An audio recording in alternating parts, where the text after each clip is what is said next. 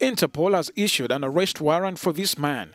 Karim Keita, the eldest son of former Malian President Ibrahim Boubacar Keita, who was overthrown in 2020 in a military coup. The red notice was issued at the request of Malian authorities on Monday, who have been investigating Keita in a case concerning the disappearance of a journalist in 2016. Keita fled to neighboring Ivory Coast after the military coup that overthrew his father in August 2020. He's denied any involvement in the disappearance of the reporter. Elected as a member of parliament in 2013, the year his father came to power, Keita quit as the head of the National Assembly's Powerful Defense Committee as protests against his father's rule gained momentum. He's been accused of using his position in parliament to advance his father's interests.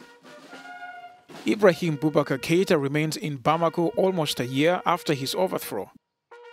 The head of Mali's junta, Colonel Assimi Goita, has vowed to organize elections next February and return the country to civilian rule.